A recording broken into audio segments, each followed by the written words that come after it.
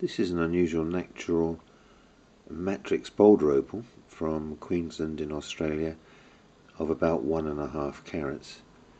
And as you can see there is a sort of grey background with this sort of forked streak through the center which flashes bright blues and greens across its entire area and then you have little spots here particularly in this corner where the the brown ironstone is just sort of showing through it.